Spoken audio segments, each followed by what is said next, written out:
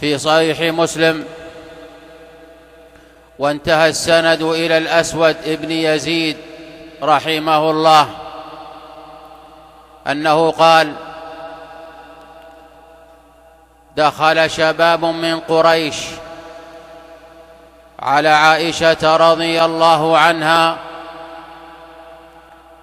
وهم يضحكون وهي بمنى. فقالت رضي الله عنها لم تضحكون؟ فقالوا خر رجل على طنب فسطاط فكادت عنقه أو عينه أن تذهب. فقالت رضي الله عنها لا تضحكوا. فإن النبي صلى الله عليه وسلم قال ما من مسلم يشاك شوكة فما فوقها إلا كتبت له بها درجة ومحيت عنه بها خطيئة. هذا الحديث لنا معه بعض الوقفات.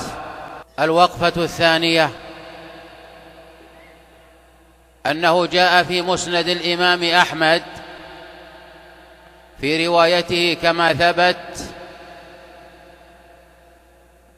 أنه قال اعتلج ناس يعني تصارعوا فيما بينهم. اعتلج ناس فأصاب طنب الفسطاط عين رجل.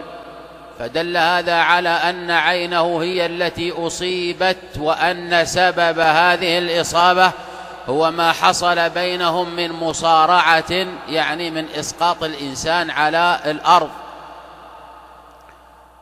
والطنب ويصح بالإسكان طنب وهو الحبل الذي يشد به الفسطاط ويصح الفسطاط بالكسر.